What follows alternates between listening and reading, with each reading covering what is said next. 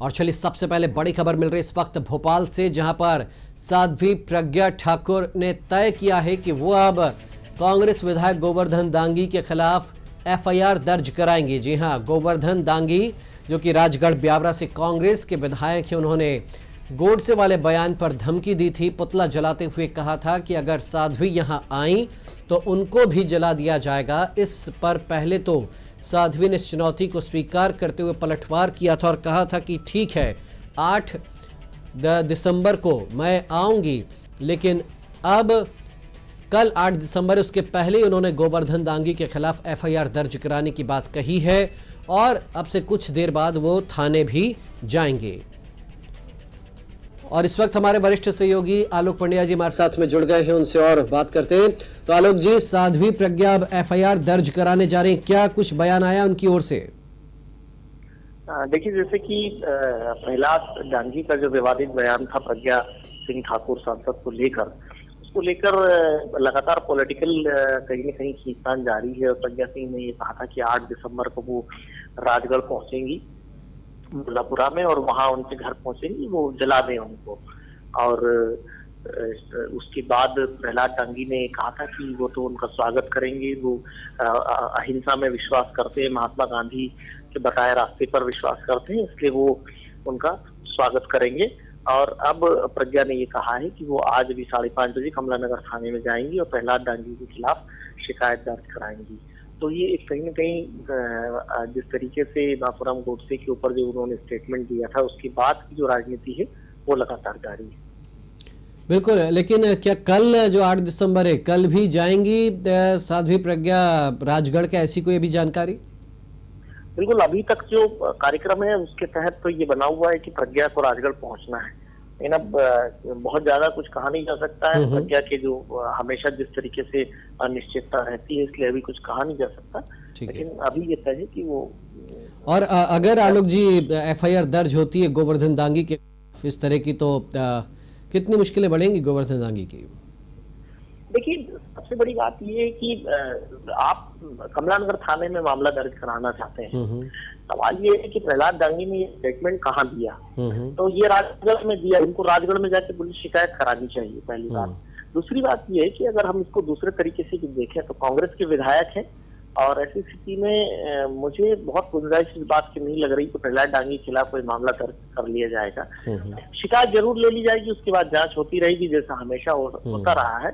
ये पूरा एक पॉलिटिकल मूवमेंट है और प्रेशर जैसे राजनीति में बनाने की कोशिश की जाती है। लेकिन इस एफआईआर से क्या कुछ पॉलिटिकल माइलेज मिलेगा प्रज्ञा को? और दूसरी बात क्या बीजेपी उनके साथ है अभी भी इस फैसले में?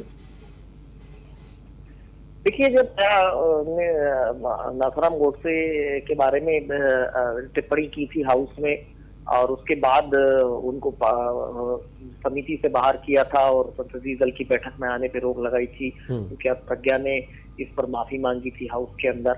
और उसके बाद कहीं ना कहीं बीजेपी ने अपनी रणनीति में बदलाव किया था और न केवल राहुल गांधी पे निशाना साधा था बल्कि प्रहलाद मोदी को भी टारगेट किया था। तो अभी जो प्रहलाद मोदी का इशू है उसमें तो ज़रूर पार्टी प्रज्ञा के साथ है और हो सकता है कि कल जब प्रज्ञा जाए तो उनके साथ कुछ बीजेपी के बड़े नेता भी राजगढ़ पहुँचे।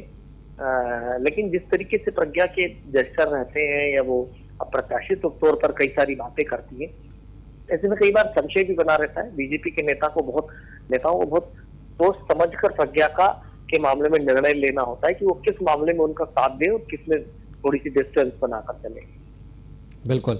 और ऐसे में आलोक जी, अब अगर एफआईआर दर्ज होती, हालाँकि आपने बताया कि आवेदन ले लिया जाएगा और फिर ये तमाम चीज़ें होती रहेंगी, लेकिन यानी लग रहा है कि इस मामले को प्रज्ञा भी नहीं छोड़ना चाहती हैं, और हो सकता है इसके पीछे बीजेपी के थिंक टैंक का भी हाथ हो।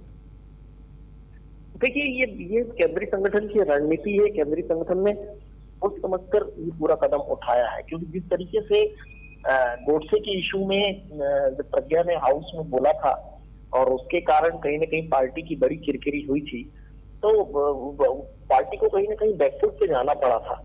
और लेकिन उसके बाद ही दो घटनाएँ हुई। एक तो राहुल गांधी ने हाउस में प्रज्ञा के ऊपर कमेंट किया उनको आतंकवादी बोला और प्रहलाद लोधी ने कहा कि प्रज्ञा को हम जरा देंगे। तो पार्टी ने जो डिफेंस मोड में चल रही थी उसमें कहीं ना कहीं एक स्टैटिक तरीके से एग्रेशन लाने की कोशिश की एग्रेसिव हुई और वो बैकफुट से बाहर आई है। तो अभी इसको थोड़ा लंबा खींचने की कोशिश ज़रूर करेगी बीजेपी क्योंकि प्रज्ञा के मामले में हमेशा किरकिरी होती रही है। हम्म। तो पहली बार ये मौका मिला है कि पार्टी आगे बढ़कर कुछ कर सके। तो और क्योंकि प्रज्ञा एक हार्डकोर हिंदू लीडर है उसका अगर कहीं उपयोग होगा और पार्टी उसका फ़ायदा उठा सकती होगी हम्म। तो इसके लिए वो ज़रूर करेंगे बिल्कुल तो इस पूरे मामले को अब उस धमकी को भुनाने में साध्वी प्रज्ञा ठाकुर जुट गई हैं और इसीलिए बस अब से कुछ देर बाद वो कमला नगर थाने में एफआईआर दर्ज कराने जा रही हैं हालाँकि एफआईआर दर्ज होती है या नहीं होती है ये देखना बाकी रहेगा लेकिन पुलिस को आवेदन तो लेना ही पड़ेगा क्योंकि सांसद है साध्वी प्रज्ञा और सांसदों का विशेषाधिकार भी होता है और ऐसे में अगर कोई किसी को धमकी दे रहा है आ, लेकिन आलोक जी यहाँ पर सीधे सीधे धमकी का मामला बनता है और अगर सांसद को धमकी दे रहे हैं तो फिर पुलिस को भी कुछ ना कुछ तो करना ही पड़ेगा केवल मामले को और अगर पुलिस वो रफा दफ़ा भी करती है तो फिर और बीजेपी को आ, मुद्दा मिल जाएगा यहाँ पर इसे और तूल देने के लिए। देखिए इसमें आप हमने जिस तरीके से इस तरीके की राजनीतिक धमकियाँ पॉलिटिकल स्टेटमेंट हम वर्षों से दीपक जी आप और हम दोनों हम्म, हम्म। दीपक जी आप और हम दोनों देखते रहे हैं और इसमें कोई बहुत नई बात नहीं है प्रहलाद डांगी के मामले में अगर ये बात आएगी कि प्रहलाद डांगी ने जलाकर धम मारने की धमकी दी है इसलिए उन धाराओं के तहत प्रकरण दर्ज किया जाए हम्म। तो फिर उसमें आगे ये भी बात आएगी कि उसके दूसरे ही दिन प्रहलाद डांगी ने लिखित रूप से एक चिट्ठी जारी करके माफ़ी भी मांग ली थी और माफ़ी में ये कहा था कि भूलवश उनसे ये बात हो गई है हम्म, इसलिए मामला कुछ बनता नहीं हम्म। तो कहीं न कहीं ये मान की हानि से ज़्यादा मुझे नहीं लगता कि इसमें कोई डराने धमकाने की धाराएँ हम्म। दर्ज हो पाएगी क्योंकि प्रहलाद डांगी अगर अपने बयान पे अड़े रहते और कहते कि आएँगी तो मैं जला ही डालूँगा बार बार हम्म। कहते तो बात दूसरी थी। उन्होंने 12 घंटे के अंदर ही एक लेटर जारी किया प्रज्ञा को भी भेजा और वो लिखित में जारी किया है तो इसको भी एक आधार माना जाएगा और वो बचाव में काम करेगा प्रहलाद डांगी के। नहीं नहीं गोवर्धन दांगी हैं आलोक जी और दूसरी बात ये कि भाई माफ़ी तो साध्वी प्रज्ञा ने भी मांग ली थी संसद में। इसके बाद भी आरिफ मसूद जाते बीजेपी दफ्तर तक मार्च लेकर के कि पार्टी से बाहर निकालो। यानी ना कांग्रेस इस मामले को छोड़ना चाह रही और फिर अब बीजेपी क्यों पीछे हटे? देखिए यही तो तरीका होता है कि आपको नंबर बढ़ाना है मूल रूप हम्म। से। आपको कोई कार्रवाई नहीं करना है न कांग्रेस चाहती है कि प्रज्ञा के ऊपर कोई कार्रवाई हो न न उसे पता है कि होगी और न बीजेपी चाहती है कि उसको भी पता है कि इस पे कोई तो बहुत बड़ा कोई आपराधिक प्रकरण दर्ज नहीं हो जाएगा और जेल में नहीं भेज दिया जाएगा। लेकिन वो प्रदर्शन करके कहीं ना कहीं इन चीज़ों को स्टैब्लिश करना और उसका राजनीतिक लाभ लेने की कोशिश है। कल जो किया गया जो आरिफ मसूद के द्वारा जो जिस तरीके से प्रदर्शन किया गया उसी की प्रतिक्रिया के रूप में आप इसको देखिए कि वो थाने पहुँच के शिकायत दर्ज कराने जा रही है। जी। चलिए शुक्रिया आलोक जी हमारे साथ इस पूरी चर्चा में जुड़ है कि गोवर्धन दांगी जो कि राजगढ़ के ब्यावरा से विधायक हैं अब वो उनका अब क्या रिएक्शन रहता है? हालाँकि उन्होंने भी माफ़ी मांग ली थी और कहा था कि अगर साध्वी प्रज्ञा आई तो वो उन्हें गांधी साहित्य भेंट करेंगे उनका स्वागत करेंगे। लेकिन अब साध्वी प्रज्ञा जो है वो इस मामले को छोड़ने के मूड में नहीं है और हो सकता है बीजेपी की ओर से भी उन्हें इस तरह के संकेत दिए जा रहे हो कि अब आप इस मामले को भुनाइए, क्योंकि एक महिला, एक सांसद होने के बावजूद अगर किसी को जलाने की धमकी दी जा रही है तो फिर और एक जनप्रतिनिधि के द्वारा दी जा रही है तो मामला फिर गंभीर हो जाता है। माफ़ी मांगना तो माफ़ी तो साध्वी प्रज्ञा ने भी मांग ली थी तो क्या उनको किसी ने माफ़ कर दिया? नहीं किया। तो ज़ाहिर सी बात है कि और केस तक दर्ज हो चुका है साध्वी प्रज्ञा के खिलाफ कई जगहों पर। तो ठीक है, साध्वी प्रज्ञा का भी अपना अधिकार है और अब देखना बस ये है कि कमला नगर थाने में वहाँ पर अब पुलिस क्या एक्शन लेती है, क्या एफआईआर दर्ज की जाती है, क्या होता है इसके बाद आगे, ये सब वक्त बताएगा। तो आपको एक बार फिर याद दिलाए, पूरा घटनाक्रम क्या हुआ था? दरअसल संसद में ए राजा अपनी बात कर रहे थे एसपीजी सुरक्षा पर। उन्होंने गांधी की हत्या और गोडसे का ज़िक्र किया, उस पर साध्वी प्रज्ञा भड़क उठी। उन्होंने कहा कि देशभक्तों का नाम यूँ नहीं लेंगे और सभी ने हल्ला मचाना शुरू कर दिया कि आप गोडसे को देशभक्त कह रही हैं। बीजेपी ने भी फ़ौरन इस बात को मान लिया। साध्वी प्रज्ञा अगले दिन सफ़ाई देती रहीं कि मैंने तो उधम सिंह के लिए बात कही थी, लेकिन मामला चूँकि गंभीर हो गया था लिहाजा साध्वी प्रज्ञा ने दो बार सदन में माफ़ी मांगी। इसके बाद राहुल गांधी ने उन्हें आतंकवादी कह दिया था। आरिफ मसूद बीजेपी दफ्तर तक मार्च निकालते हुए पहुँच गए थे कि बीजेपी जो है, वो साध्वी प्रज्ञा को पार्टी से बाहर करे। ये सब मामला चल रहा था। इस बीच गोवर्धन दांगी ने ये कह दिया था, पुतला जलाते हुए कि अगर साध्वी प्रज्ञा यहाँ आई तो उनको भी जला दिया जाएगा। और अब साध्वी प्रज्ञा ने उसी बात को मुद्दा बनाते हुए उनके खिलाफ, यानी गोवर्धन दांगी के खिलाफ एफआईआर दर्ज कराने की बात कह दी है। और वो कुछ ही देर में कमला नगर थाने भी पहुँच रही हैं।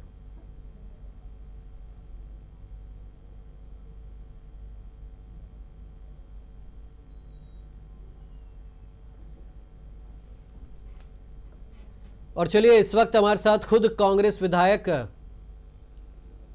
गोवर्धन दांगी जी फ़ोन लाइन पर जुड़ गए गोवर्धन जी, पत्रिका टीवी में आपका स्वागत है, लेकिन खबर यह है इस वक्त कि आपके खिलाफ एफआईआर दर्ज कराने जा रही है साध्वी प्रज्ञा थाने में बताइए देखो अब वो उनका इशू है हम्म। तो क्या कराती है उनके हिसाब से जो भी कराए हम्म। उनके जो उचित समझे ठीक ना हम्म।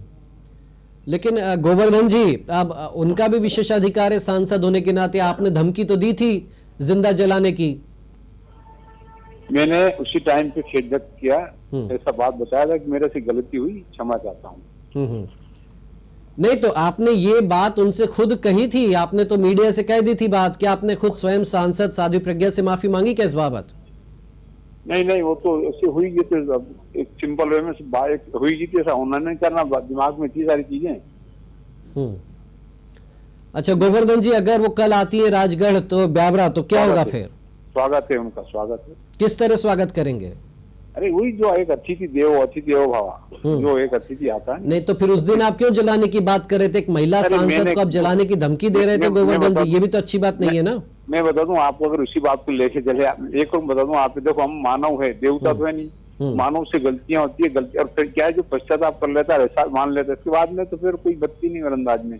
हम्म। और ये अच्छी परंपरा कोई भी गलती से कोई ऐसी चीज़ हो जाती है लेकिन एक बात बताइए सांसद साध्वी भी तो अपने बयान पर माफ़ी मांग चुकी है लेकिन कांग्रेस तो इस मुद्दे को नहीं छोड़ रही है। अब वो उनका इस तरह देखो अभी एक मेरा व्यक्तिगत था वो हम्म। व्यक्तिगत बात लेकिन अगर एफआईआर दर्ज होती है तो फिर क्या करेंगे आप? क्या करेंगे? जो होना है तो सही रहता है उसमें क्या करेंगे? तो कानूनी का प्रक्रिया है। हम्म, हम्म। चलिए लेकिन आप मानते हैं कि इस तरह की बयानबाजी नहीं होनी चाहिए? गोवर्धन जी चलो तो उनसे संपर्क टूट गया है।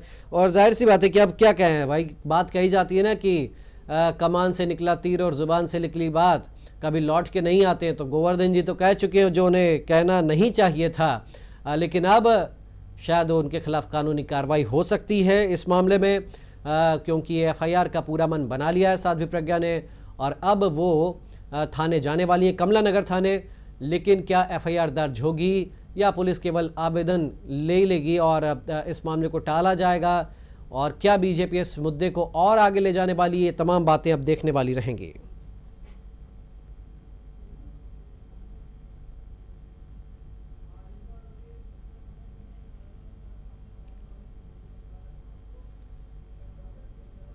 और चलिए, अब आपको हम बताते हैं कि 8 दिसंबर को शाम साढ़े चार बजे मुल्तानपुरा जाने की बात कही थी। साध्वी प्रज्ञा ने और क्या तैयारियाँ हैं? वहाँ पर देखिए, राजगढ़ के ब्यावरा की हम तस्वीरें दिखा रहे मुल्तानपुरा की। वहाँ पर पोस्टर लगा करके स्वागत किया जाने की बात कही है, गोवर्धन दांगे की ओर से। ये कुछ पोस्टर भी लगा दिए गए हैं वहाँ पर। और कहा था कि अगर सांसद साध्वी प्रज्ञा मुल, मुल्तानपुरा आती हैं तो उनको गांधी साहित्य भेंट किया जाएगा ताकि वो गांधी जी के जीवन के बारे में पढ़ें, जानें। और ये देखिए क्या होता है, राजनीति में बड़ा सोच समझ के बोलना चाहिए, वरना इसी तरह की मुसीबतें खड़ी हो जाती हैं। एक गलती प्रज्ञा ने की थी तो दूसरी गलती गोवर्धन दांगी ने कर दी है, और दोनों ही अब अपने किए कि अपने बयानों के, यूँ कहें कि सज़ा भुगत रहे हैं। एक पर तो अपनी पार्टी ने ही इतनी बड़ी कार्रवाई कर दी। दूसरे ने दूसरी पार्टी ने फ़िलहाल चुप्पी साध रखी क्योंकि तुरंत माफ़ी मांग ली थी गोवर्धन दांगी ने। लेकिन कहें कि राजनीति में तमाशेबाजी इसी तरह से हो सकता है, कल भी हमें देखने को मिले।